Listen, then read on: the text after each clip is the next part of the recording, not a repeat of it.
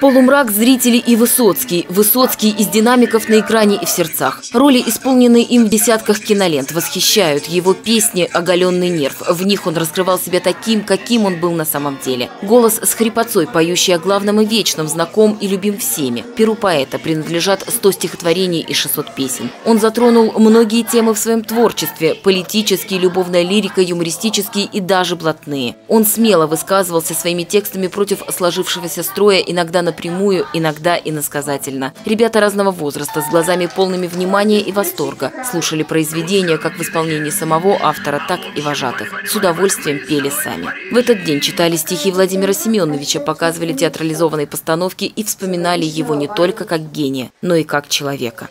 У него э, особенный голос, он сам играет э, свои песни, сам придумывает, сам, сам сочиняет. Мне очень нравится его творчество. Меня поразили две песни. Это были «Спасите наши души» и «Парус». Потому что «Парус», он как-то задевает за душу то, что человек бился-бился, и вдруг у него что-то не получилось, и он говорит, что порвали парус, я каюсь, каюсь, каюсь. Спасти наши души, то, что человек, э, чтобы не сдавались люди, чтобы верили в себя и в свои силы.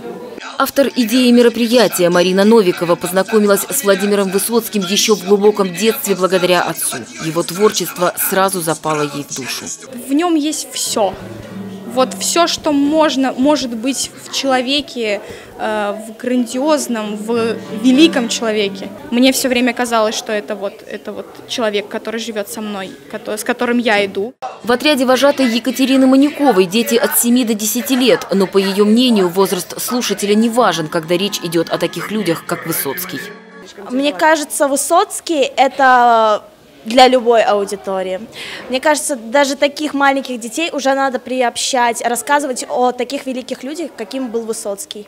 Владимир Высоцкий написал много песен для кино и мультипликации. В завершении мероприятия ребятам показали мультфильм 1981 года «Алиса в стране чудес». Именно по мотивам произведения Льюиса Кэрролла Высоцкий в свое время написал радиопьесу.